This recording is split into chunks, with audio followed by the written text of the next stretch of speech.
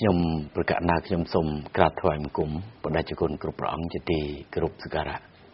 សូមលំអរកាយគោរពជំរាបសួរសម្ដេចលោកជំទាវអាដាមលោកជំទាវលោកលោកស្រីនិងកញ្ញាបងប្អូនរួមជាតិទាំងក្នុងនិងក្រៅប្រទេសជាទីគោរពនិងជាទីរាប់អានបាននៅក្នុងរៀងរាល់ថ្ងៃច័ន្ទនេះគឺលោកលោកស្រីនិងកញ្ញាបងប្អូនរួមជាតិក៏តែងតែបានជួបជាមួយនឹងនីតិវិភាគព្រឹត្តិការណ៍សង្គមរបស់អគ្គនាយកដ្ឋានវិទ្យុទូទស្សន៍បាយ័ន ដែលបានបង្ហាញជូនទៅដល់ជនរួមជាតិតកតងទៅនឹងព្រឹត្តិការណ៍ថ្មីថ្មីបំផុតដើម្បីចែកជូនទៅដល់បងប្អូនយើង ក្នុងការពិចារណាផងដែរហើយដោយឡែកនៅក្នុងរាត្រីនេះ បាននីតិវិភាគព្រឹត្តិការណ៍សង្គមរបស់យើងក៏លើកយកអំពីអត្តន័យនៃមហាជ័យជំនះថ្ងៃ7មករាដើម្បីបង្ហាញជូនជនរួមជាតិនៅក្នុងការរំលឹក នៅអនុស្សាវរីយ៍ដែលប្រជាពលរដ្ឋខ្មែរគ្រប់មជ្ឈដ្ឋានទាំងអស់ទាំងក្នុងនិងក្រៅប្រទេស បានទទួលដឹងទទួលឮទាំងអស់គ្នា ជាការពិតហើយថាអត្តន័យនៃថ្ងៃ7មករានេះ គឺជនរួមជាតិតែងតែចងចាំចំណាំទុកនិងកត់ត្រានៅក្នុងបេះដូងគ្រប់គ្រប់គ្នាសូម្បីតែប្រជាពលរដ្ឋខ្មែរដែលរស់នៅក្រៅប្រទេស កំពុងតែទទួលបាននៅសេចក្តីសុខក្សេមក្សាននៅក្រៅប្រទេសក្តី ក៏បងប្អូនទាំងអស់គ្នា តែងតែនឹកឃើញអំពីមូលហេតុឬក៏ដើមចមដែលនាំឲ្យបងប្អូនឈានទៅដល់ក្រៅប្រទេសនឹងផងដែរពីព្រោះថាបើសិនណាជាពុំមានការផ្ដួលរំលំរបបបល័យពុជសាសប៉ុលពតទេ បងប្អូនក៏គ្មានឱកាស ក្នុងការដើរឆ្លង កាត់ពីស្រុកមួយទៅស្រុកមួយធ្វើដំណើរឆ្ពោះទៅជាយដែនហើយចេញពីជាយដែនហ្នឹងទៅកាន់ប្រទេសទី3ហ្នឹងក៏យើងគ្មានឱកាសក្នុងការធ្វើដំណើរបែបនេះផងដែរប៉ុន្តែដោយសារតែពេលនោះ គឺរបបបល័យពុជសាសដួលរំលំដួលរលំហើយក៏ដូចជារដ្ឋបាលប៉ុលពតហ្នឹងគឺថាត្រូវបានដួលរលំដោយសារតែកម្លាំងរណសេរីរបស់យើងហ្នឹងអញ្ចឹងពេលនោះគឺបងប្អូនយើងមានឱកាស ហើយខ្ញុំក៏មិនដាក់ទម្ងន់ទៅលើបងប្អូននោះទេដែលបងប្អូនបាន ចាក់ចេញពីមាតុភូមិទៅរស់នៅក្រៅប្រទេសនេះដោយហេតុតែបងប្អូនអស់សង្ឃឹមនៅក្នុងជីវិតអស់សង្ឃឹមទី1ហ្នឹងគឺអស់សង្ឃឹមត្រង់ថា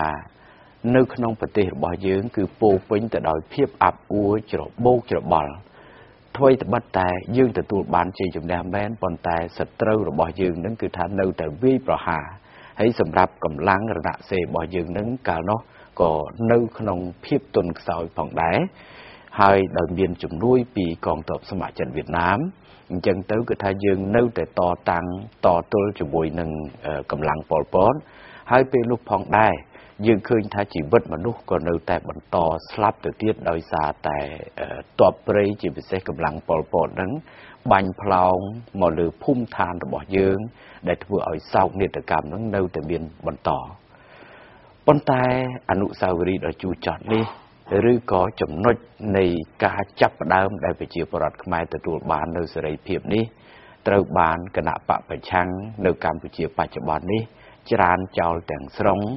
ដោយយកដោយឲ្យតម្លៃទៅលើថ្ងៃផ្សេងផ្សេងទៅវិញចំណុចនេះយើងរាប់បានថាជាសកម្មភាពអយុត្តិធម៌មួយដែលគណៈបពប្រឆាំងគឺថាមានចិត្តអកតេចំពោះព្រឹត្តិការណ៍ជាតិ និងព្រឹត្តិការណ៍ជាប្រវត្តិសាស្ត្រនេះឯង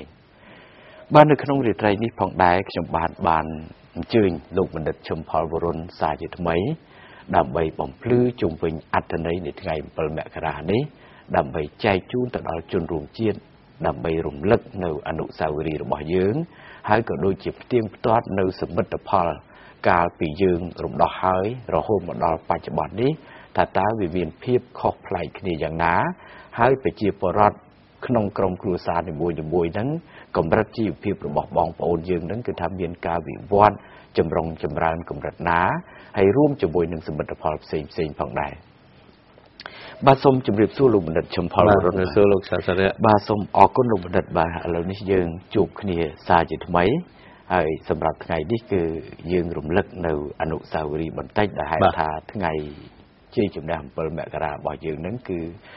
រំកិលចិត្តមកដល់ហើយបាននៅសល់ប្រហែលថ្ងៃ4 5ថ្ងៃទៀតនេះគឺកម្ពុជារបស់យើង ជាពិសេសប្រជាពលរដ្ឋខ្មែរនឹងប្រពៃនៅពិធីរំលឹកនៃជោគជ័យ7មករាជាប្រវត្តិសាស្ត្ររបស់យើងនឹងឯងអញ្ចឹងជាដំបូងនេះគឺខ្ញុំចង់ឲ្យលោកបណ្ឌិតជួយបញ្ជាក់បន្តិចមើលថាតើប្រសិនបើ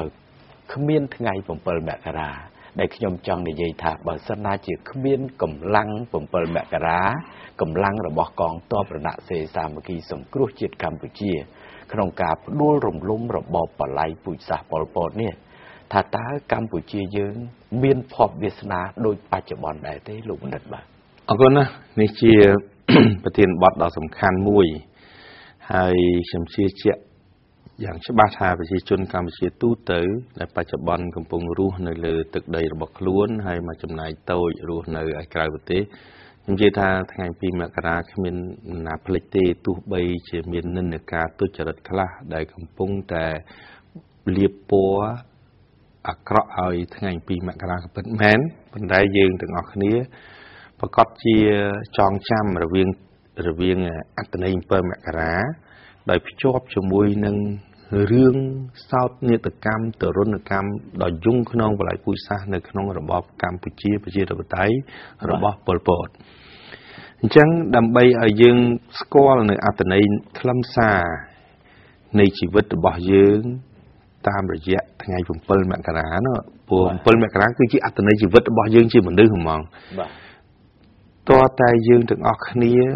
ឲ្យតម្លៃជីវិតពិតរបស់យើងនៅក្នុងរបបប៉ុលពត តើនៅរបបប៉ុលពតយើងមានជីវិត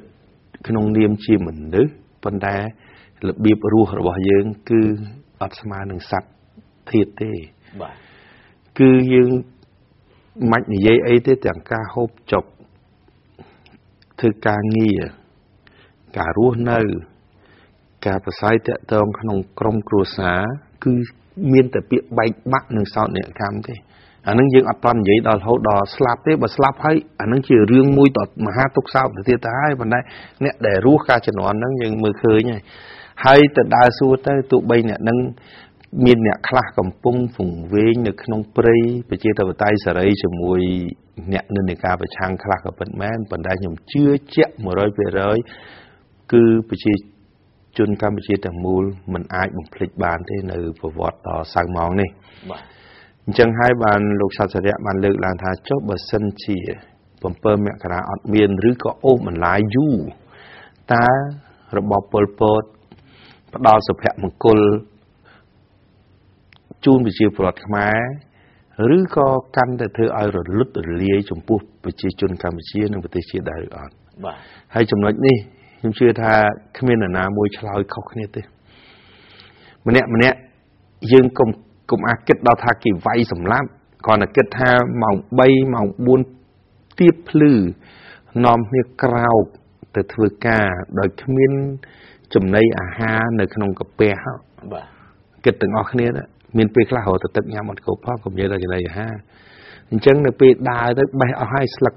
ឈើស្លឹកព្រៃដែលយើងដើរកាត់ហ្នឹងឡើងរិចដូចគូស៊ីដើមព្រិចចឹង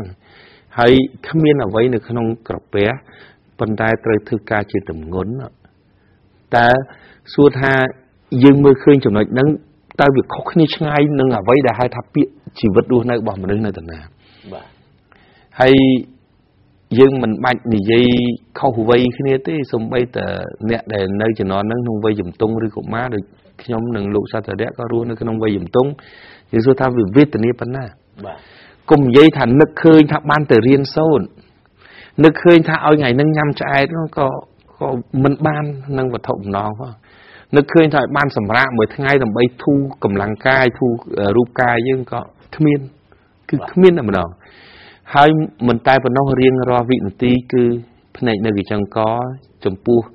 អ្វីដែលគេប៉ុនប៉ងចោតយើងថាជាខ្មាំងរបស់បដិវត្តណាបាទព្រោះសូម្បីតែយើងបាត់បកីបាក់ចប់អារបស់ប៉ុណ្ណឹង គេអាចសម្លាប់យើងជាលេសនៃការសម្លាប់យើងដោយគេចោទថាយើងជាខ្មាំងរបស់បដិវត្តដោយគ្រាន់តែបាត់ជាប់បាត់បគីបាទមិនត្រឹមតែប៉ុណ្្នឹងទេលោកមនិតបើយើងឃើញថាយើងមានរឿងរ៉ាវច្រើនទៀតបើយើងបរិយាយអំពីសោកនាដកម្មក្នុងសម័យប៉ុលពតនេះបើយើងឃើញថាសូម្បីតែក្នុងនាមយើងដែលជាអ្នក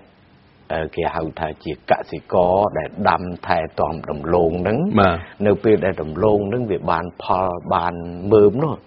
យើងទៅដកដំឡូងនឹងមួយមើមយកមកទទួលទានឆៅណាបាទអាហ្នឹងក៏គេអាចយកយើងទៅសម្លាប់ត្រឹមដែរត្រូវបាទផ្លែចេកមួយផ្លែក៏គេយកទៅសម្លាប់បាទចាប់អង្កែបមួយក៏គេយកទៅសម្លាប់ដែរបាទគេថាយើងនឹងក្បត់អង្ការ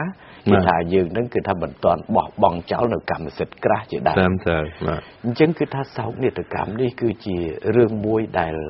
ប្រជាពលរដ្ឋជួចចត់ណាស់ ហើយប្រជាពលរដ្ឋក៏កំពុងតែដាក់ទណ្ឌកម្មចំពោះអ្នកនយោបាយណា ដែលមានចរិតស្តៀងទៅនឹងអ្វីដែលពលពតបានធ្វើកន្លងមកនឹងផងបាទដែរត្រឹមត្រូវណាស់បាទហើយចំណុចហ្នឹងហើយចំណុចហ្នឹងហើយដែលយើងគិតថាបើយើងវង្វេងជាមួយគណៈបកប្រឆាំងដែលភ្លេចនៅខ្ញុំប្រើពាក្យកំណើតពិតរបស់យើងធម្មតា កម្ពុជាប្រជាជនកម្ពុជាមានលក្ខណៈពិសេសពីរខុសប្លែកពីប្រជាជននៃបណ្ដាប្រទេសផ្សេងផ្សេងៗគេមានកំណើតតែមួយគេហៅកំណើតធម្មជាតិពីឪពុកម្ដាយបាទតែយើងចំណុចហ្នឹងក៏យើងមានតែចំណុចពិសេសមួយយើងមានកំណើតមួយទៀតគេហៅកំណើត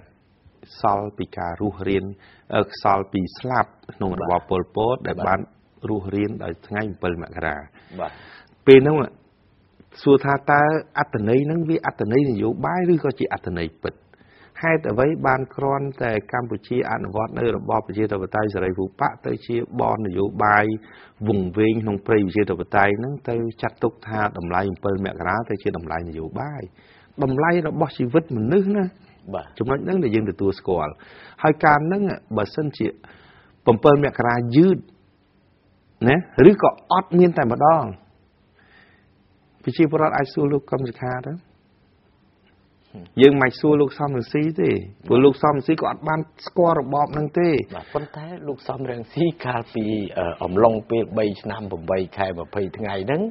គាត់ក៏អត់ហ៊ានជិះកប៉ាល់ហោះអត់កម្ហ៊ានពុជាទេដែរត្រឹមត្រូវព្រោះបាទគាត់ស្គាល់ច្បាស់ថាវេទនីហើយបាទគាត់ហ៊ានតែដឹងមកថាហ៊ានតែមកគឺប្រកាសជាងាប់ហ្នឹងហើយគុលអាស័យបើមិនគុលអាស័យគឺដបងចប់បាទហ្នឹងបាទបើគាត់ច្រឡំមក បឹងតបែកការដែលលោកអៀងសេរីបកោបកាសហ្នឹងគឺភ័ព្វវាសនារបស់គាត់ហ្នឹងក៏គាត់អាចដឹងដែរបាទតែឥឡូវថាហ្នឹងបើសិននេះណាបាទឥឡូវយើងនិយាយអ្នកដែលជួបទៅហើយនេះបាទបើ7មករាយឺតគាត់នៅ7មករានៅ79ក៏លោកកឹមសុខាបាត់ឪពុកដែរបាទចុះបើ7មករាយឺតតើអាចបាត់អីទៀតសម្រាប់យើងយើងដឹងថាបាត់ហើយពីព្រោះយើង យើងឲ្យតម្លៃ7មករាជាជីវិតរបស់យើងសល់ពីស្លាប់នៅរបស់ប៉ុលពតបាទតែលោកកឹមសុខានេះ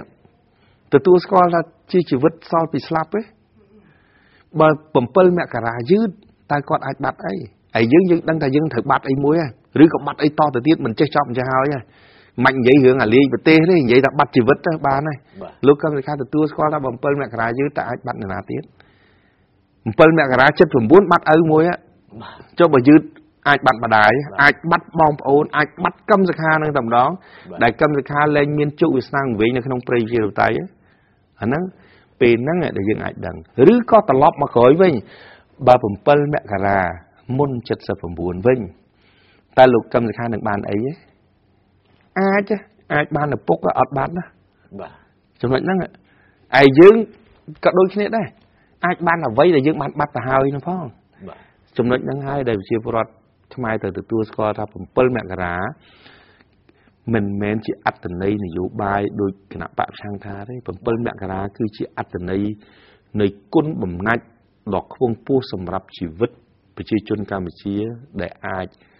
សល់ពីស្លាប់បាទនិយាយឲ្យចំទៅគឺ7មករានេះគឺមិនមែនជាសត្រូវជាមួយនឹងអ្នកណាទេបាទហើយ7មករានេះមិនមែនរំដោះតែ អ្នកដែលគ្រប់គ្រងគណៈបកប្រជាជនកម្ពុជាយើងនោះទេ បាទសូម្បីតែគណៈបកប្រឆាំងអ្នកដែលគ្រប់គ្រងសំរងស៊ីក៏អ្នកនោះត្រូវបាន7មករាជួយស្រោចត្រង់ជីវិតអ្នកដែលគ្រប់គ្រងកឹមសុខារួមជាមួយនឹងរូបរាងកាយរបស់កឹមសុខាសពថ្ងៃនេះក៏ដោយសារ7មករាបានជួយគាត់ឲ្យរស់រានមានជីវិតដែរបាទអញ្ចឹងมันមានធ្វើជាសត្រូវជាមួយនឹងអ្នកណាទេប៉ុន្តែយើងឃើញថា មានតែបុគ្គលឬក៏ជនទុច្ចរិតទេបាទដែលប្រកាសគេហៅថាប្រកាសធ្វើជាសត្រូវជាមួយនឹង7មករាត្រឹមត្រូវបាទដូចជាកឹមសុខាក្តីបននយោបាយរបស់សំរងស៊ីក្តីហ្នឹងបាទគឺគេកំពុងតែប្រកាសធ្វើជាសត្រូវចំពោះ7មករាប៉ុន្តែអត្ថន័យពិតនៃ7មករានឹងមិនបានចាត់ទុកថា អ្នកទាំងអស់នោះជាសត្រូវត្រឹមផងគឺនិយាយចាំ7មករាអត់ដឹងខ្លួនថាគេស្អប់ខ្លួនទេបាទចង់និយាយចឹងល្អត្រឹមត្រូវណាហើយចំណុចហ្នឹងបងប្អូនជាវត្តគិតទាំងអស់គ្នាណាយើងអាចប្រៀបធៀបពាក្យ7មករាគឺមានន័យរំដោះជីវិតហើយណាបាទតែឥឡូវយើងនាំគ្នានិយាយភាសាសាមញ្ញទាំងអស់គ្នាមើល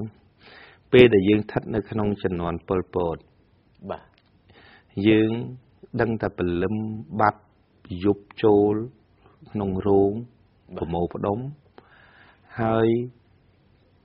រាប់មនុស្សបាត់គ្នាឯងជាបន្តបន្ទាប់តែអត់មានលឺស្នូអាវុធទេណាបាទដល់ពេលនៅចុងឆ្នាំ1978មកដើមខែមករា1979បានយើងឮផ្ទុះអាវុធផ្ទុះអាវុធពេលហ្នឹងក្នុងស្ថានភាពដែលយើងវាប៊ីសទាំងងាប់ទាំងអស់តែគ្នាខ្ញុំថាម្នាក់ម្នាក់ រស់នៅសតតែសបកទេវាគ្មានកម្លាំងអីទាំងអស់សួរថាផ្ទុះអាវុធឬសូស្នូកំភ្លើងម្នាក់ម្នាក់នៅក្នុងចិត្តគិតថាអូមានអីមករំដោះយើងហើយបាទតែយើងអត់ដឹងថាអ្នកណារំដោះអ្នកណាទេដឹងថាអូអាចមានរឿងរ៉ាវកាលណាមានរឿងរ៉ាវយើងអាចដោះខ្លួនចេញពីខ្នោះគ្នាហើយហើយពេលហ្នឹងស្នូអាវុធកាន់តែចិត្តមកចិត្តមកយើងអត់តដឹងថាស្អីទៀតគ្រាន់តែឮស្នូថាអូមាន សង្គ្រាមខាងនោះវាយចូលខាងនេះហើយដកតបថយបដាបដាយើងគិតថាអញបានសម្រាកការងារហើយបាទពេលហ្នឹងពេលហ្នឹងមានបានទៅការតម្ងន់ណាទៀតណាអញ្ចឹងយើងគិតថាអូ snow snow ភ្លើងសង្គ្រាមហ្នឹងទៅជាធូរចិត្តរបស់ប្រជាពលរដ្ឋខ្មែរដែលវេទនាណាតែបើប្រៀបធៀបឥឡូវវិញណាឬសូវផ្ទុះអាវុធមិនមែនជាការសបាយទេតែការជំនន់នោះឬផ្ទុះអាវុធគឺបានន័យថាខ្លួននឹងអាច រួចផុតពីខ្នោះគ្នាដល់ចុងក្រោយនៅពេលដែលយើងឃើញច្បាស់ថារណសេសង្គមជាតិកម្ពុជារួមនឹងកងទ័ពស្ម័គ្រចិត្តវៀតណាមវាយបកមកលើទាហានខ្មែរក្រហមហើយបាក់តបជាបន្តបន្ទាប់យើងគឺគ្មានអ្វីដែលសពេចសពើទៀតទេ គឺយើងទទួលផលរួចបាត់ទៅហើយហ្នឹងហើយចំណុចហ្នឹងហើយដែលចង់បញ្ជាក់ថា ស្ថានភាពការនោះយើងនៅតែថ្ងៃគេថាស្លាប់មួយម៉ាត់ហ្នឹង តែអាភាពស្លាប់របស់យើងវាស្លាប់ហើយនៅតែដង្ហើមហ្នឹងចំណុចហ្នឹងហើយដែលខ្ញុំចង់បញ្ជាក់ថានៃ7មករាគឺជានៃដែលយើងភ្ជាប់ទៅនឹងស្ថានភាពហ្នឹងឥឡូវយើងគិតមួយទៀតឲ្យទទួលស្គាល់ទាំងអស់គ្នាហើយដែលយើងហ៊ាននិយាយចំតែម្ដងដើម្បីកុំឲ្យខាងក្រមគណៈបកប្រឆាំងចេះតែយកមកលើកគេថា7មករាវៀតណាមឈ្លានពានឥឡូវ មិនបាច់តន់ឆ្លើយទេសួរទៅលោកកឹមសខាលោកសំរងស៊ីនិងបននយោបាយអាឡែអាឡក់ទុច្ចរិតទាំងអស់ហ្នឹងសួរហ៊ានទទួលស្គាល់អាមេរិកឈ្លានពានអាហ្វហ្គានីស្ថានទេហ៊ានទទួលស្គាល់អាមេរិកឈ្លានពានអ៊ីរ៉ាក់ទេគុំនិយាយថាអ៊ីរ៉ាក់វាផ្ដាច់ការដោយសារសាដាមហ៊ូសែនគ្រាន់តែបញ្ជាក់ថាតើអាមេរិកឈ្លានពានគេឲ្យតែនិយាយមួយម៉ាត់ចឹងសិន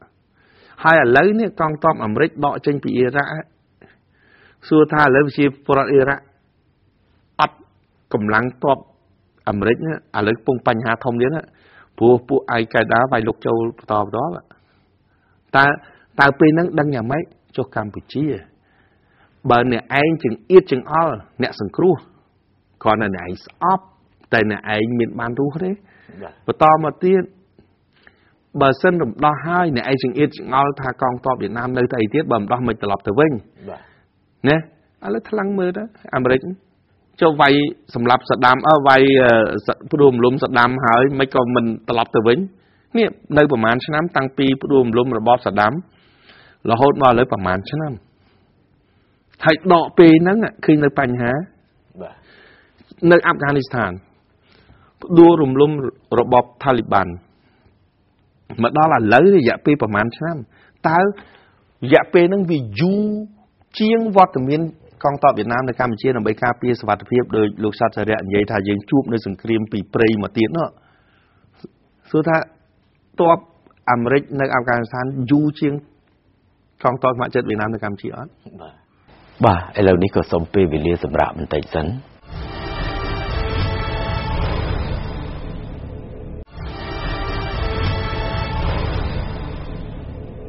បាទបន្ទាប់ពីបានសម្រាប់អំបញ្ញមិញនេះក៏សូមជួបជាមួយនឹងលោកបណ្ឌិតឈឹមផលវរុនជាបន្តទៀតបាទអ្វីដែលលោកបណ្ឌិតមានប្រសាសន៍ហ្នឹងគឺថាគួរណាស់តែខ្ញុំផ្ដល់នៅសំណួរហ្នឹងបន្ថែមទៀត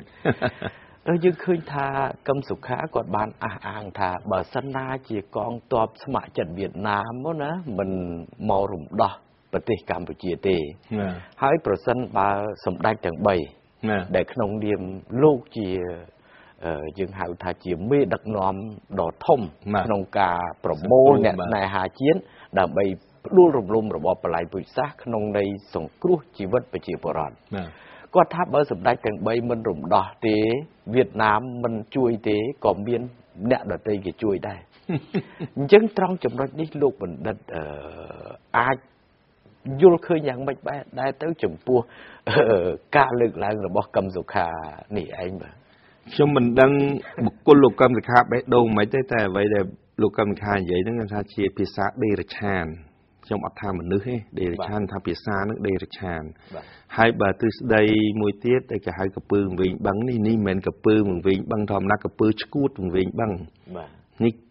វាចូលដល់ឈួតហើយវវិញទៅទៀតបាទតែនឹងវាយើងគិតទាំងអស់គ្នាទៅថាតើមានមានមានពីណាមកអាចមកបំដោះកម្ពុជា ណាមានពីណា មានពីណាដែលរវល់នឹងកម្ពុជា យើងងាកមកខ្មែរនៅក្រៅប្រទេសមិនហ៊ានអឹសម៉ាត់បាទ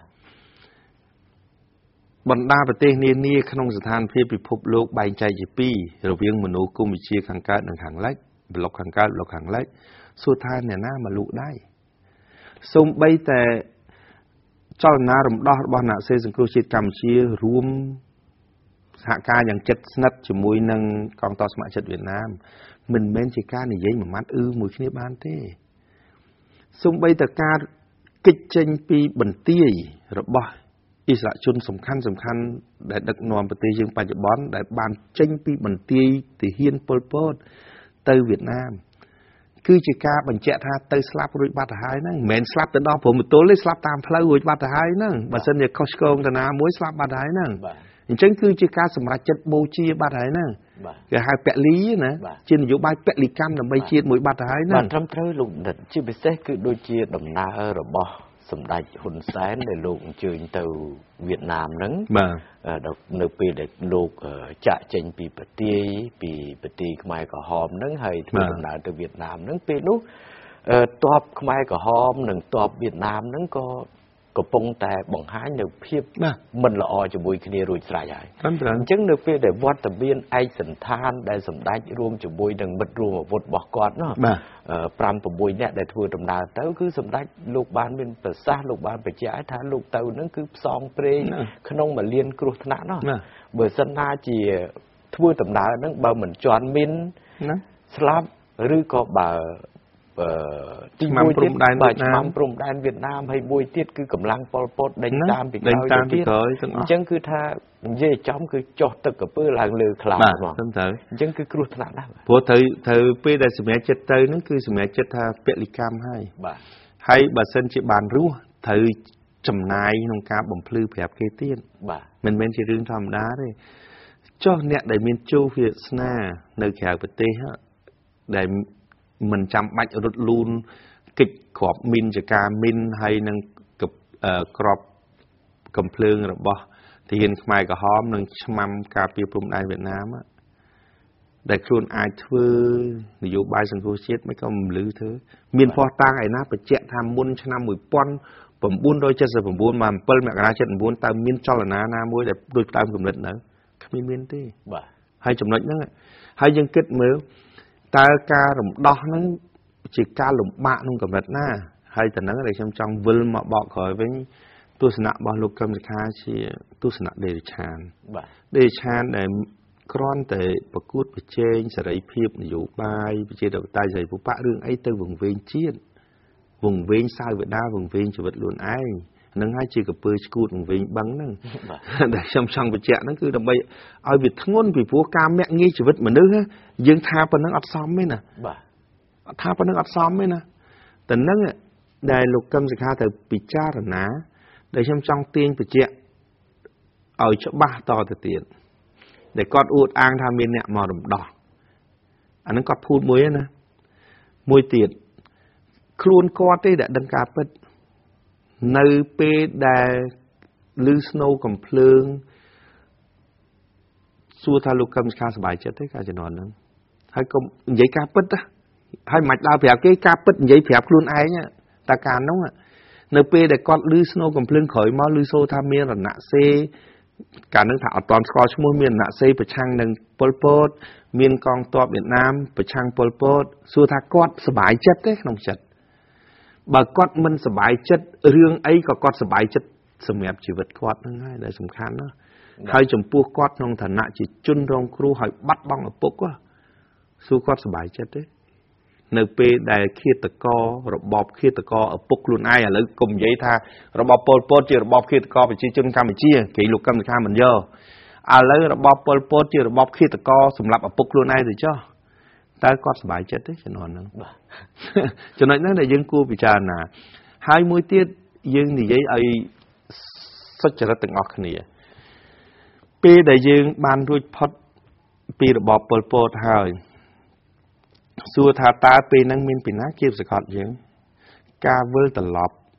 ឬក៏ការបន្តទីតាំងស្នាក់នៅបន្តទៀតជាការសម្រេចចិត្តរបស់យើងខ្លួនឯងឬមានពីណាមកគូសវាបាទ យើងនិយាយការពិតទៅកាលហ្នឹងម្នាក់ម្នាក់សម្រេចចិត្តខ្លួនឯងទាំងអស់អ្នកខ្លះទៅក៏វិលត្រឡប់មកភូមិឋានរបស់ខ្លួនបាទហើយអ្នកខ្លះទៅក៏ជាប់និស័យជាមួយជីវិតនៅឯទីនោះក៏បន្តដូចជាជាការសម្រេចចិត្តទាំងអស់គ្នាបាទគ្រូបង្រៀនត្រឡប់ទៅបំពេញវិជ្ជាជីវៈគ្រូបង្រៀននៅក្នុងរាជការនៃរបបសាធារណរដ្ឋប្រជាមានិតកម្ពុជា អាជីពផ្សេងផ្សេងវិលត្រឡប់មកកន្លែងដដែលវិញទាំងអស់តើជាការសម្រេចចិត្តរបស់យើងម្នាក់ម្នាក់ឬក៏ជាការគៀងគោដូចជំនាន់ប៉ុលពតចំណុចហ្នឹងលោកកឹមសុខាត្រូវទទួលស្គាល់ការពិតបើលោកសំស៊ីអត់ដឹងប៉ុន្តែប្រជាជនកម្ពុជាដែលរស់នៅក្នុងនៅលើទឹកដីកម្ពុជាគឺដឹងទាំងអស់ដូច្នេះ មិនគួរធ្វើនយោបាយឈួតលីលាបំភ្លៃជីវិតខ្លួនឯងទេអញ្ចឹងបានថាជំវិញរឿងលោកកឹមសុខានេះដូចដែលលោកបណ្ឌិតបានបញ្ជាក់ពីរឿងភាពដេរិឆានរបស់កឹមសុខាហ្នឹងខ្ញុំជឿជាក់ថាពាក្យនេះគឺមិនតាន់ធ្ងន់បាទទៅដល់អ្វីដែលវាស្មើទៅនឹងទង្វើរបស់កឹមសុខានោះទេប៉ុន្តែយើងកុំឲ្យថាយើងនឹង និយាយបន្តបង្អាប់គាត់ដោយថាស្អប់គាត់អីគឺថាកម្មវិធីរបស់យើងមិនមានចេតនាស្អប់អ្នកណាទេហើយក៏មិនយកអ្នកណាធ្វើជាសត្រូវដែរយើងនិយាយនេះគឺយើងនិយាយអំពីបញ្ហាជាតិពីព្រោះថាការដែលយើងស្រស់ស្រួលគ្នាការដែលយើងមានទស្សនៈរួមបានន័យថាយល់ឃើញដូចគ្នានេះ គឺជាការមួយសំខាន់ណាស់ក្នុងការប្រមូលកម្លាំងដើម្បីកសាងជាតិពីព្រោះបច្ចុប្បន្នភាពនេះគឺកម្ពុជារបស់យើងទទួលបានហើយសុខសន្តិភាពអញ្ចឹងសុខសន្តិភាពគឺជាឱកាសនៃការស្ដារប្រទេសជាតិឲ្យមានការចម្រុងចម្រើនជួបបើសុខសន្តិភាពហើយម្នាក់ម្នាក់គិតតែពីរឿងបញ្ហាបុគ្គលបញ្ហាផ្ទាល់ខ្លួនធ្វើនយោបាយដើម្បីចំណេញតែបុគ្គលផ្ទាល់ខ្លួន វាជារឿងមួយដែលធ្វើឲ្យជាការមួយគេហៅថា ពន្យឺតដល់ការអភិវឌ្ឍនឹងផងដែរបាទអញ្ចឹងភាពដេរិឆានរបស់កឹមសុខានេះគឺជាដេរិឆានពីរជាន់ដេរិឆានទី1គឺដេរិឆាន ចំពោះអ្នកមានគុណខ្លួនឯងបាទដែលចំពោះឪពុកតែម្ដង តាមដែលលោកកឹមសុខារៀបរាប់ប្រាប់បណ្ដាញសារព័ត៌មានក៏ដូចជាចាក់ក្នុងកម្មវិធីរបស់គាត់ហ្នឹងគឺគាត់បានបញ្ជាក់ថាឪពុករបស់គាត់នឹងអត់មានខុសអីទេណាគេយក ឪពុកគាត់នឹងយកទៅសម្លាប់នៅនឹងមុខគាត់វាយក្បាលនឹងត្បូងចប់នឹងគុលអាស័យហើយឪពុកគាត់ក៏ដួលស្លាប់អញ្ចឹងទៅប៉ុន្តែគាត់អត់ខឹងអីមិនតិចនេះគឺជាការលើកឡើងដោយផ្ទាល់មាត់របស់កឹមសុខានឹងតែម្ដងបាទអមួយវិញទៀតគាត់រហូតទៅដល់និយាយថាគុកទួលស្លែងដែលជាទីកន្លែងពិឃាត មនុស្សនេះដែលខូខើព្រៃផ្សៃដែលពិភពលោកកំពុងតែមានការស្លុតចិត្តចំពោះសោកនាដកម្មនិងទរណកម្មជាពិសេសឧបករណ៍នៃការដាក់ទណ្ឌកម្មមនុស្សនេះមានតាំងពីខ្នោះមានតាំងពីកន្លែងព្យួរកកន្លែងដែលសម្រាប់គឺថាយ៉ាងព្រៃផ្សៃអមនុស្សធម៌នេះកឹមសុខាថាគឺជាការរៀបចំឆាកដើម្បីបន្លំភ្នែកតែប៉ុណ្ណោះទេតាមការពិតគឺសុទ្ធតែ ថ្ងៃ7មករាទាំងអស់ជាអ្នករៀបចំអញ្ចឹងនេះហើយគឺជាបញ្ជាក់ថាកឹមសុខានេះដេរឆាន ចំពោះប្រជាជាតិខ្មែរទាំងមូលហើយដែលដេរឆានធ្ងន់ធ្ងរបំផុតហ្នឹងគឺដេរឆានចំពោះពលឹងមនុស្សដែលស្លាប់ដោយអយុត្តិធម៌រួមជាមួយនឹងឪពុករបស់កឹមសុខានៅក្នុងនឹងផងដែរដែលកឹមសុខាដេរឆានចំពោះអ្នកស្លាប់ទាំងឡាយទាំងពួងនោះនេះគឺជារឿងមួយដែល ក្នុងនាមយើងដែលជាប្រជាជាតិខ្មែរហ្នឹងមិនគួរប្រព្រឹត្តនៅអំពើដូចកម្មសុខាទេវាវាវាអាក្រក់ជួជាតិហួសហួសហេតុពេកក្នុងនាមយើងជាអ្នកកាន់ពុទ្ធសាសនា យើងតែងតែដឹងហើយទាំងអស់គ្នា ពុទ្ធសាសនុបឋមទាំងឡាយហ្នឹងត្រូវមានចរិតយ៉ាងម៉េច យើងមិនបាច់ចាំនិយាយពីរឿងអីទេសូម្បីតែសិល5ហ្នឹងក៏បានបញ្ជាក់ដែរកុំលួចកុំភូតកុំកុហកជាដើមលក្ខនឹងលក្ខអញ្ចឹងកម្មសុខាមានទាំងអស់លួចក៏លួចលួចភូតក៏ភូតកុហកក៏កុហកគឺនិយាយឲ្យចំមកមកតួខ្លួនរបស់កម្មសុខានេះគឺបង្ហាញនៅភាពទុច្ចរិតយ៉ាងច្បាស់ដែលយើងមិនពិបាកអីនឹងនឹងនឹងមើលទេគឺថាកលេចទៅឃើញភាពទុច្ចរិតរបស់កម្មសុខាតែម្ដងបាទសំខាន់បាទចំណុចហ្នឹងហើយដែលយើងមើលដូច គាត់លើករឿងតួស្លែងបាទរឿងតួស្លែងនេះផោះតាងគ្រប់គ្រាន់ឥឡូវថាផោះតាងហ្នឹងគាត់មិនទទួលយកទៀតឥឡូវយើងមើលពីណាប្រធានគុកតួស្លែងមិនលោកដូចបាទហើយលោកដូចជាឃាតករយ៉ាងខូខើក្នុងឋានៈគាត់ជាប្រធានគុកតួស្លែងបាទហើយនៅពេលដែលគាត់ត្រូវបានតឡាសាលាក្តីខ្មែរក្រហម កោះគាត់ឲ្យចោតប្រកាន់គាត់ហើយគាត់បំភ្លឺការពារខ្លួននៅសាវនាការសាលាក្តីវាគួរណាស់តែមេឃាតករមួយនេះនិយាយដូចកម្មសខាទៅផ្សំដើម្បីយល់លេះថាខ្លួនស្អាតស្អំបាទប៉ុន្តែរឿងអ្វីលោកដូចក្នុងឋានៈជាឃាតករហ៊ាននិយាយការពិតទោះបីមិនបានពិត100%ប៉ុន្តែគាត់ពុំបានចោទទម្លាក់ទៅនរណាទេ គាត់ទទួលស្គាល់ថាគុកទួលស្លែងគឺឃាតកម្មទីកន្លែងឃាតកម្មគាត់មានរួមចំណែកនៅក្នុងហ្នឹងគាត់ទទួលប៉ុន្តែរួមចំណែករបស់គាត់គាត់ទទួលបញ្ជាពីមេដឹកនាំកម្ពុជារបស់កម្ពុជាជាតៃមានសុនសេនមានប្រពតមាននួនជានៅក្នុងហ្នឹងហេតុអ្វីបានទៅជាលោកដូចក្នុងឋានៈជាឃាតករដ៏ខូខើនិយាយការពិតនេះ ឯលោកកឹមសខាក្នុងឋានៈជាជនរងគ្រោះហើយបាត់ឪពុកនៅចំពោះភ្នែករបស់ខ្លួនបែរទៅជានិយាយបំភ្លៃរឿងខុសពីការពិតតើយើងប្រជាប្រដ្ឋដាក់តម្លៃតើតើក្នុងឋានៈលោកកឹមសខាជាជនរងគ្រោះហើយបាត់ឪពុកនិយាយរបៀបហ្នឹងឯលោកដូចក្នុងឋានៈជាគិតកោដ៏គូខៅនិយាយការពិតតើពីណាថ្លៃជាងពីណាបើខ្ញុំខ្ញុំថា លោកកឹមសុខា មានតម្លៃមិនស្មើនឹងបាត់ជើងលោកដូចទេ តែត្រង់តែវិជាពរដ្ឋដាក់តម្លៃគាត់ប៉ុណ្ណាទៀតខ្ញុំមិនដឹងពីព្រោះលោកដូចឋានៈជាឃាតកគេហ៊ានទទួលស្គាល់បាទឯខ្លួនឯងឋានៈជាអ្នករងគ្រោះឲ្យបាត់ឪពុកទៅជានិយាយឈួតលីលាទៅអញ្ចឹងអាតែហ្នឹងដែលយើងចង់នៅតើជាជាអំពើឬក៏ជាទស្សនៈដេរឆានទេចំណុចហ្នឹងយើងទទួលស្គាល់ហើយកំហឹងឈឺចាប់ប៉ុន្តែ យើងមិនចង់ដុតកំហឹងនឹងឲ្យបន្តទៀតទេប៉ុន្តែដើម្បីជំនះនឹងអតីតកាលដ៏ឈឺចាប់យើងចង់ឲ្យយើងបញ្ចប់អតីតកាលតាមរយៈយើងទទួលស្គាល់ដើម្បីបញ្ចប់ទំព័រដ៏ខ្មៅងងឹតអញ្ចឹងហើយបានយើងកាត់ក្តីមេដឹកនាំខ្មែរក្រហមដើម្បីឲ្យមេដឹកនាំខ្មែរក្រហមបង្ហាញការពិតកុំឲ្យកម្ពុជាប្រជាជនកម្ពុជាដែលរងគ្រោះនៅតែមន្ទិលនេះមន្ទិលដូច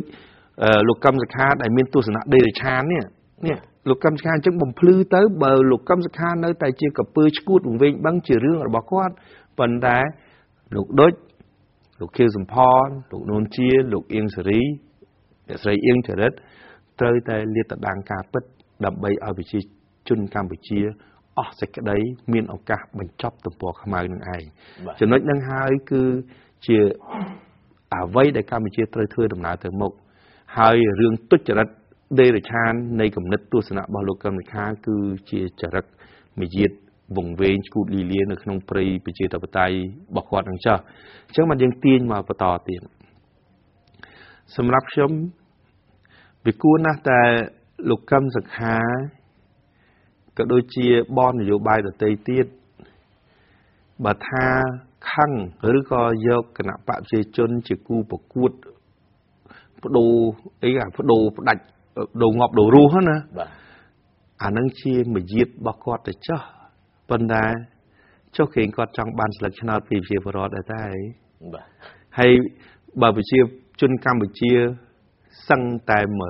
100%សិតតែរងគ្រោះក្នុងរបបប៉ុលពតទោះបីអ្នកចំនួនក្រោយពុំបានរងគ្រោះក្នុងរូបកាយផ្ទាល់ក៏ដោយប៉ុន្តែខ្លួនក៏ជាប់ទៅនឹងអតីតកាលតាមរយៈឪពុកម្ដាយបងប្អូនដែរ បាទណាទៅនឹងហេតុអ្វីបានលោកកឹមសុខាចង់បានស្លឹកឆ្នោតពីប្រជាជនកម្ពុជាដែលឆ្លងទុកសោកក្នុងរបបប៉ុលពត តែបែរជាលោកកឹមសុខាពុំគេហៅថាពុំមានគំនិតសុចរិតចំពោះប្រជាជនកម្ពុជា ចំពោះជីវិតប្រជាជនកម្ពុជាតែនឹងតើស័កសមច្រឡំឲ្យស្លឹកឆ្នោតទៅ លោកកឹមសុខាដែលជាអ្នកនយោបាយមានគំនិតដេរឆានឹងដែរអត់បាទណាទេបើសិនជាមានអ្នកបោះឆ្នោតណាដែលដែលគេហៅថាពុំបានឆ្លងកាត់របបខ្មែរក្រហមហើយពុំដែលបានជួបប្រទះថាបងប្អូនសាច់ញាតិម៉ែឪវេទនារបបខ្មែរក្រហមនឹងទៅតែបោះឲ្យកម្មសិក្ខាទៅលើរុញទៅរបស់ទៅតែខ្ញុំជឿថាប្រជាជនកម្ពុជាទាំងមូលគ្មាននរណាមួយចំទាស់នឹងថ្ងៃ7មករាដោយលោកកម្មសិក្ខាទេមួយទៀត បើលោកកម្មសិក្ខាបំភ្លៃរឿងខ្មែរក្រហមមួយបែបទៅហើយឥឡូវគាត់និយាយមួយបែបទៀតគាត់ថាវៀតណាមឈ្លានពានឥឡូវលោកកឹមសុខាខ្លួនឯងនិយាយមួយម៉ាត់មកថាអាមេរិកឈ្លានពានមកហ៊ានហ៊ាននិយាយម៉ាត់ណាក៏អាមេរិកអាមេរិកដើរវាយគេពេញពិភពលោកនិយាយនេះមិនមែនឲ្យប្រជាពលរដ្ឋខ្មែរទៅសពអាមេរិកទេពីព្រោះនយោបាយនៃការប្រកួតប្រជែងវាអញ្ចឹង តែលោកកឹមសុខាមានហ៊ានតិចទៀតណាឥឡូវថាមួយម៉ាត់ថាកងទ័ពអាមេរិកឈ្លានពានអាហ្វហ្គានីស្ថានឈ្លានពានអ៊ីរ៉ាក់ហើយរួមជាមួយ NATO ឈ្លានពានលីប៊ី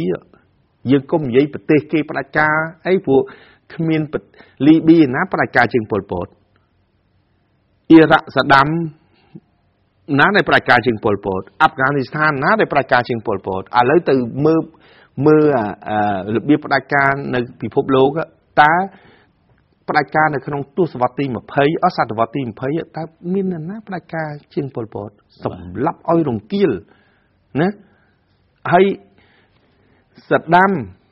ដឹកនាំអ៊ីរ៉ាក់សម្លាប់មនុស្សច្រើនក៏ពិតមែនប៉ុន្តែមិនទាន់រង្គាលដោយប៉ុលពតទេមិនក៏អាមេរិកឈ្លានពានអ៊ីរ៉ាក់បាន ហើយយកលេសថាបង្កើតអាវុធប៉ារ៉ាម៉ាណូតែមកដល់ថ្ងៃនេះរហូតអត់ឃើញ កម្មសខាហ៊ាននិយាយអាហ្វហ្គានីស្ថាន ជារបបផ្ដាច់ការសម្រាប់មនុស្សខូខើប៉ុន្តែពុំទាន់រង្គាលដោយពលពតទេតើកម្មសខាហ៊ានថាអាមេរិកឈ្លានពានទេតនឹងដែលដែលលោកកឹមសុខាកំពុងធ្វើនយោបាយដេរឆានចំពោះជាតិខ្លួនឯង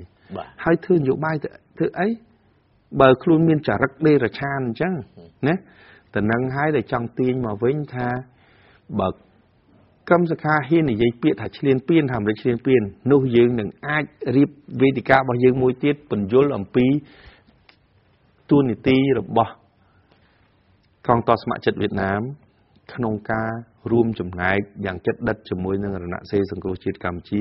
ដើម្បីរំដោះជីវិតមនុស្សប្រមាណលានអ្នកដែលកំពុងតែដង្ហើយហៅនៅការសង្គ្រោះជាតិសង្គ្រោះជីវិតនោះបាទបាទឥឡូវនេះក៏សូមពេលវេលាសម្រាប់បន្តិចសិន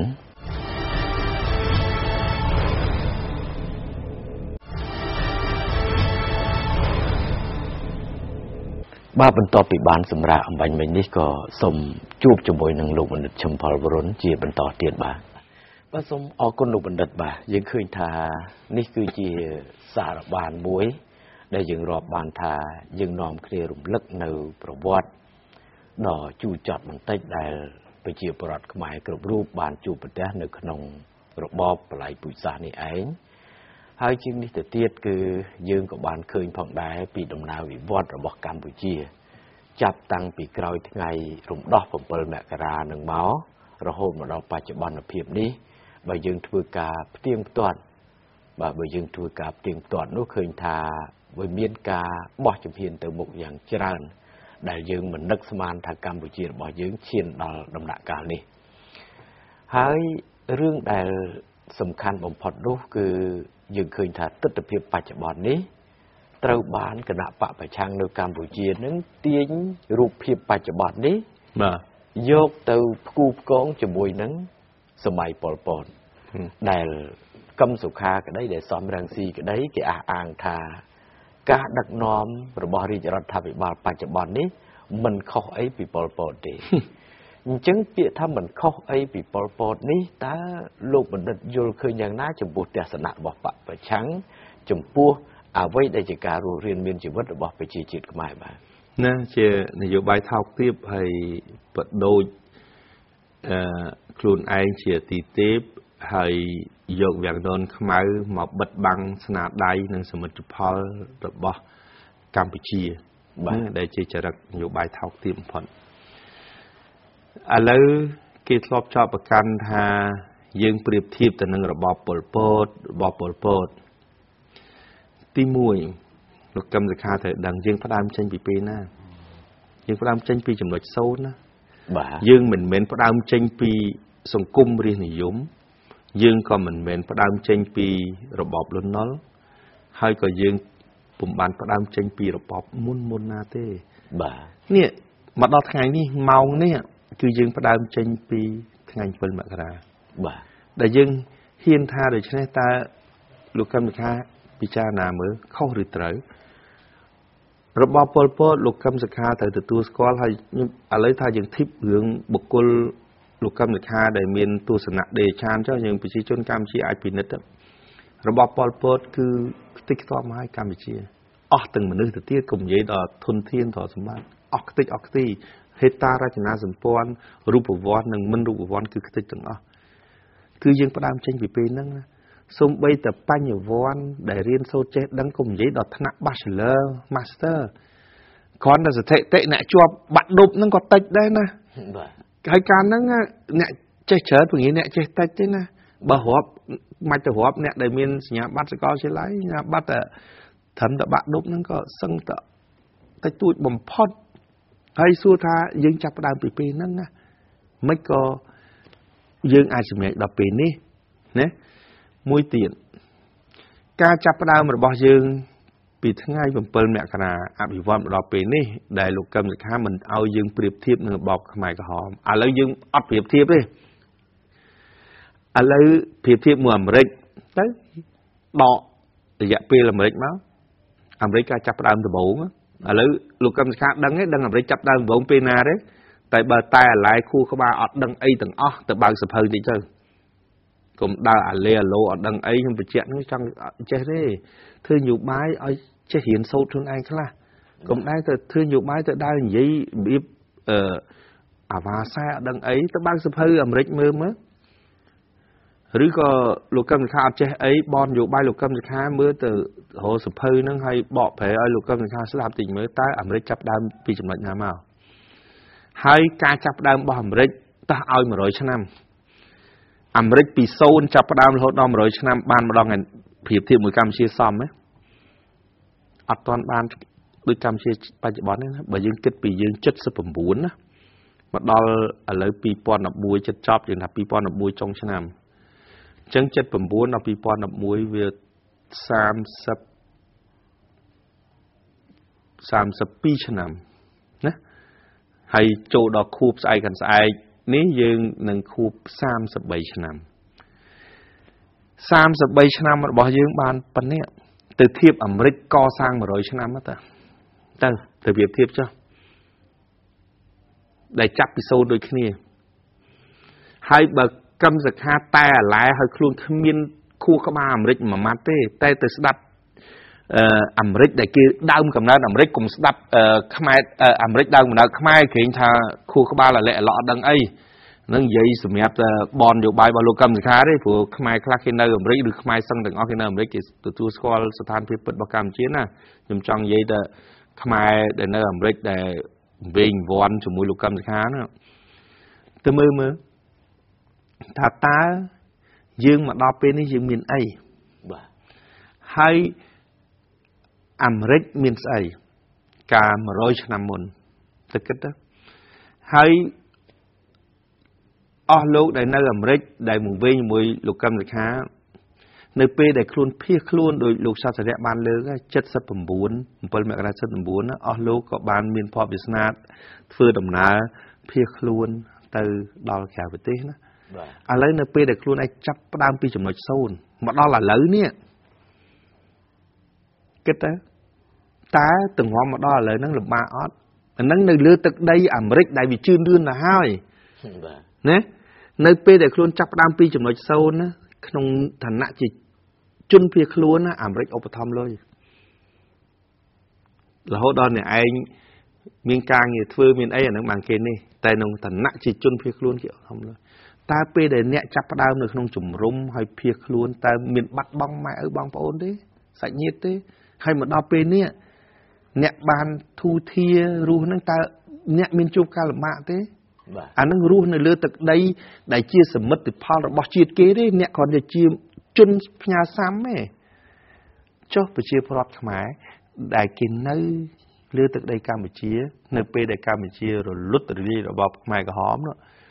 តើ លំបាកជាងអស់លោកទេហើយបើលោកអស់លោកទទួលស្គាល់លំបាកជាងពីព្រោះនៅកម្ពុជាគឺយើងអត់មានស្បៀងផងណាបាទអស់លោកទៅអាមេរិកពេលនៅជំរុំភៀសខ្លួនគេមានស្បៀងឲ្យឲ្យទៅដល់ទឹកដីអាមេរិកអស់លោកអត់តមានការធ្វើគេមានលុយឲ្យពីព្រោះស្រុកគេជឿនលឿនណាស់ហើយបាទលោកនៅលំបាកមានអ្នកខ្លះនៅកិច្ចពុនគេដល់ថ្ងៃហ្នឹងទៅសួរបនយោបាយលោកកឹមសុខាដែលមកស្រុកខ្មែរកិច្ចពុនគេដល់ថ្ងៃហ្នឹងបាទតែឥឡូវយើងមិននិយាយរឿងហ្នឹង ប្រជាពលរដ្ឋខ្មែរនេះម្ដងណាសួរលំបាកប៉ុន្តែសមិទ្ធផលគេបានទេប្រជាជាតិខ្មែរបានសមិទ្ធផលជាតិម្ដងហ្នឹងប៉ុណ្ណាណារាប់តាំងពីរាជការសាធារណរដ្ឋប្រជាជាតិកម្ពុជាមករដ្ឋកម្ពុជាហើយបានមករាជាណាចក្រទី2នេះជាសមិទ្ធផលជាតិបន្តបន្តដែលมันអាចលុបបំបត្តិសមិទ្ធផលណាមួយបានទេបាទណាតែលំបាកប៉ុណ្ណាធ្វើដល់ប៉ុណ្ណឹងរឿងអី អ្នកឯងទៅយករបស់មួយដែលគេលូតលាស់ទៅហើយយកមកប្រៀបធៀបឥឡូវយើងអត់ខ្លាចប្រៀបធៀបទេតែរុញកង់វត្តសាស្ត្រអាមេរិកពេលដែលចាប់ពីសូនដូចគ្នាមកបើកាលណាយើងចង់ប៉ុណ្ណាំងចង់ប្រៀបធៀបអ្នកណារត់លឿនជាងណាតើតែយើងចាប់ពីចំណុចសូនដូចគ្នាបាទអ្នកឯងអត់អាចរាប់អាមេរិកនៅពេលដែលអាមេរិកខ្លាយទៅជាប្រទេសឧស្សាហកម្មជឿនលឿនទៅហើយទេណា ចំណុចហ្នឹងដែលខ្ញុំចង់បញ្ជាក់នៅពេលដែលអាមេរិកចាប់ផ្ដើមដំបូងដែលទៅប្លន់យកដីជនជាតិដើមដែលរស់នៅទឹកដីអាមេរិកសពថ្ងៃនោះរាប់ពីហ្នឹងមកមើលចំណុចហ្នឹងដែលយើងគួរពិចារណាបាទចំណុចហ្នឹងបាទសូមអរគុណណាស់លោកបណ្ឌិតដែលបានធ្វើការពន្យល់បាទយ៉ាងក្បោះក្បាយបាទតកតងទៅនឹងអ្វីដែលគណៈបកប្រឆាំងកំពុងតែប្រើប្រាស់នៅវាំងននទុច្ចរិតក្នុងការបិទបាំងនៅការពិតនៅក្នុងប្រទេសកម្ពុជារបស់យើងនេះ ហើយជាទូទៅគឺបងប្អូនយើងជ្រាបហើយបើយើងនិយាយពីសម័យប៉ុលពតហ្នឹងហើយនិយាយអំពី7មករានេះគឺជារឿងមួយដែលស្ថិតនៅក្នុងការចងចាំហើយក៏ជាចំណុចចាប់ផ្ដើមដែលប្រជាពលរដ្ឋខ្មែរមានសេរីភាពរួមជាមួយនឹងគណៈបកប្រឆាំងទាំងឡាយទាំងពួងនឹងក៏ទទួលបាននូវសេរីភាពផងដែរដែលប៉ុលពតគេប្រៀបធៀបរាជរដ្ឋាភិបាលបច្ចុប្បន្នគេថាដូចសម័យប៉ុលពតអញ្ចឹង កឹមសុខាបាទកឹមសុខាគាត់ថាអញ្ចឹងគាត់ថារដ្ឋាភិបាលដឹកនាំដោយសម្ដេចហ៊ុនសែននេះគឺមិនខុសអីពីប៉ុលពតទេណាអានឹងគាត់និយាយអញ្ចឹងអញ្ចឹងខ្ញុំមិនទៅប្រកែកប្រណាំងអីជាមួយកឹមសុខាទេប៉ុន្តែគ្រាន់ថាបើសិនណាជាសម័យប៉ុលពតហ្នឹងវាដូចអ្វីដែលកឹមសុខាអះអាងថារដ្ឋាភិបាលបច្ចុប្បន្នហ្នឹងដូចសម័យប៉ុលពតអូជុំប៉ុលពតមិនក៏មិនបើកស្នាក់ ការគណៈបកសិទ្ធិមនុស្សកាលពីជំនាន់នោះទៅឃើញឪពុករបស់កឹមសុខាហ្នឹងគុលអាស័យឯងមានបានបើកស្នាក់ការអីមានបានធ្វើអីគាត់តែលួចដលងគេមកមកមើមដែរដែលឪពុកត្រូវគេយកទៅសម្លាប់ចោលហ្នឹងអញ្ចឹងទស្សនវិជ្ជាដែលកឹមសុខាលើកឡើងថារាជរដ្ឋាភិបាលបច្ចុប្បន្ននេះដូចសម័យប៉ុលពតហ្នឹងវាគ្រាន់តែជាភាសាមួយដែលកឹមសុខា គ្មានគុណសម្បត្តិណាមកគូផ្គងជាមួយនឹងគណៈបកប្រជាជន នៅពេលដែលសម្ដេចទាំង3លោកខិតខំប្រឹងបម្រើជាតិរត់លូនដើម្បីប្រមូលអ្នកស្នេហាជាតិប្រមូលកម្លាំងដើម្បីផ្ដួលរំលំរបបប៉ុលពតកឹមសុខាមិនទាន់ដឹងនៅណាឡើយទេគ្មានទស្សនៈគ្មានគំនិតអីនោះទេ គឺគិតតែពីរឿងធ្វើយ៉ាងម៉េច គិតតែពីរឿងគុលអាស័យឲ្យដបងចប់ព្រោះឲ្យខ្លាចមានវាសនាដោយឪពុករបស់ខ្លួននោះហើយមួយវិញទៀតបើដូចប៉ុលពតកឹមសុខាសពថ្ងៃនេះមិនក៏មិនចាក់ដើរចាក់មេក្រូ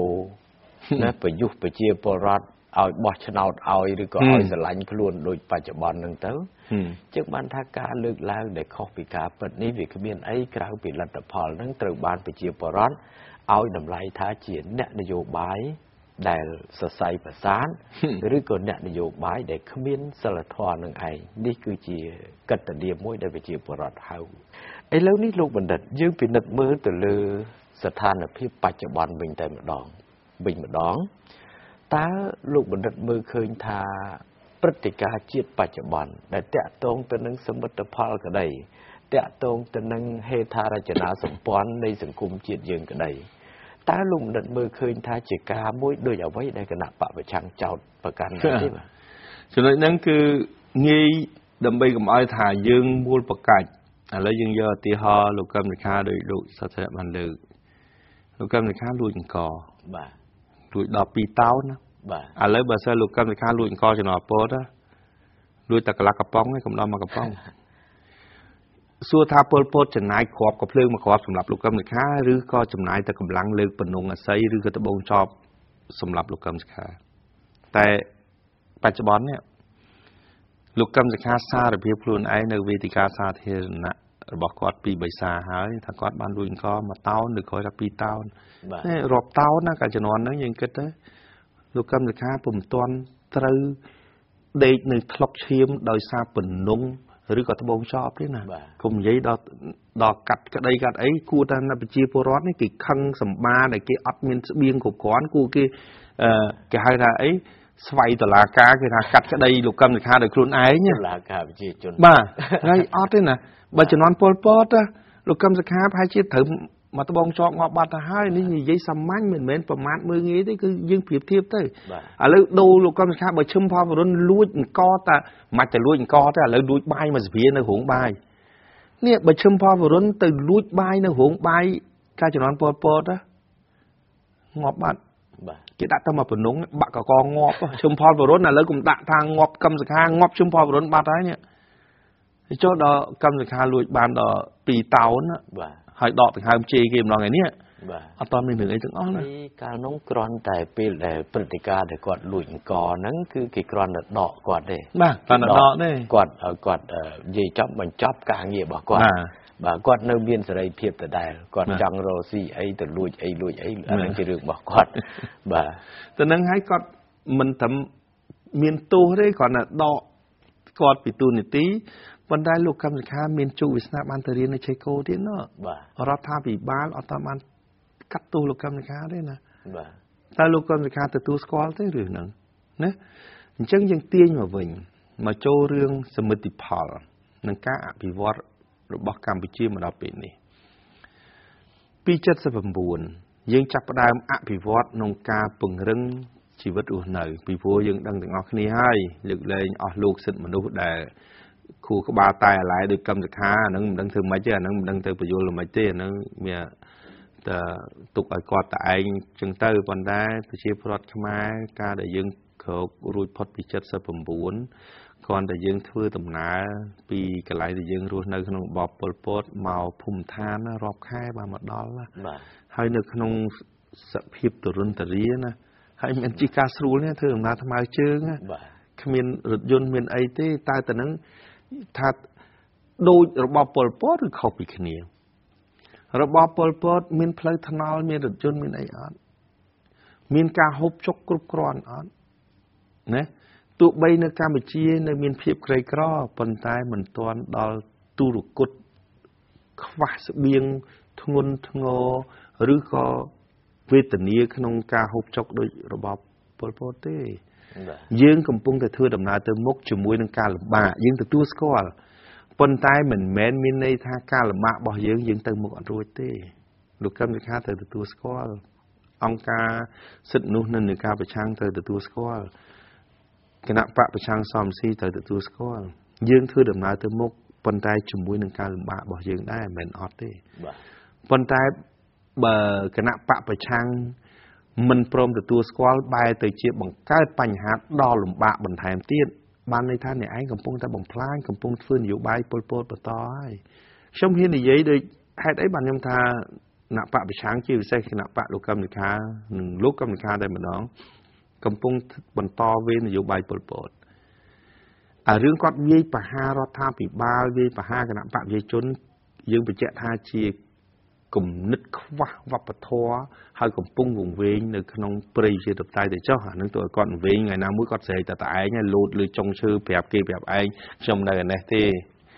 ប៉ុន្តែយើងនិយាយអំពីសមិទ្ធផលសួរថាមកដល់ពេលនេះការលំបាករបស់យើង យើងភ្ជាប់ជាមួយនឹងការរីកចម្រើនណាលោកកឹមសខាមានដោះចេញទេ តែអ្វីដែលដោះចេញមកដល់ថ្ងៃនេះគឺរដ្ឋាភិបាលនិងប្រជាជនកម្ពុជា រួមគ្នាដោះស្រាយបញ្ហា ការរួមគ្នាដោះស្រាយបញ្ហានេះ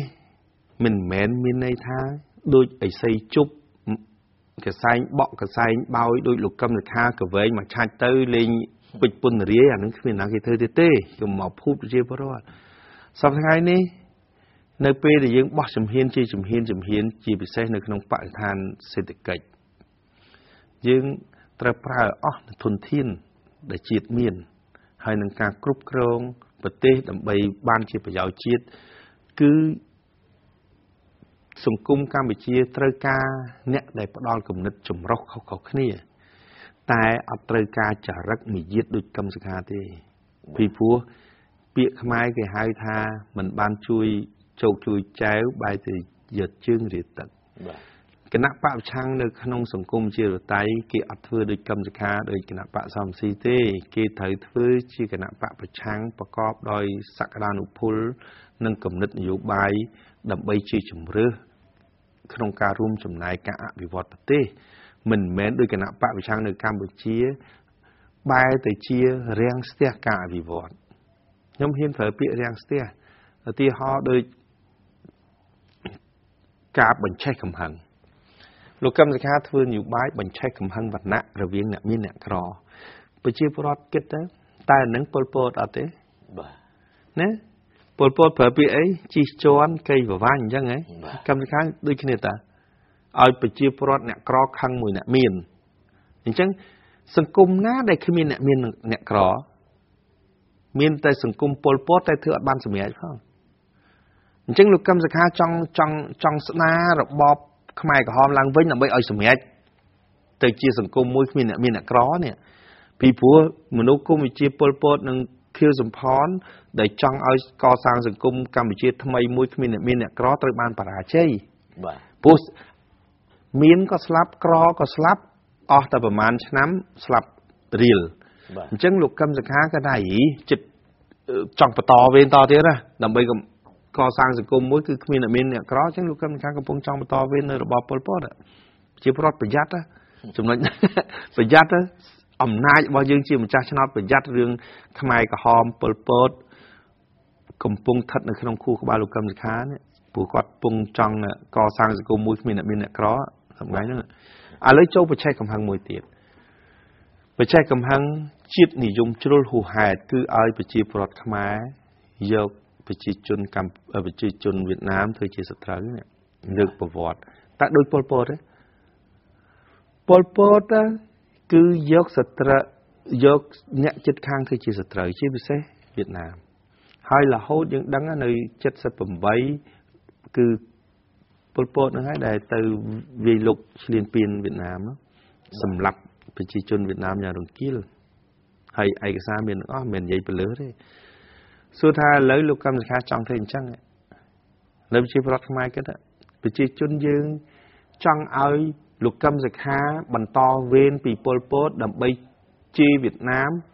ហើយនឹងកោះរំលើងប្រវត្តិសាស្ត្រកម្ពុជាក្រមដើម្បីឈ្លានពានគ្នាឬធ្វើសង្គ្រាមរវាងកម្ពុជាវៀតណាមតទៀតអត់បើ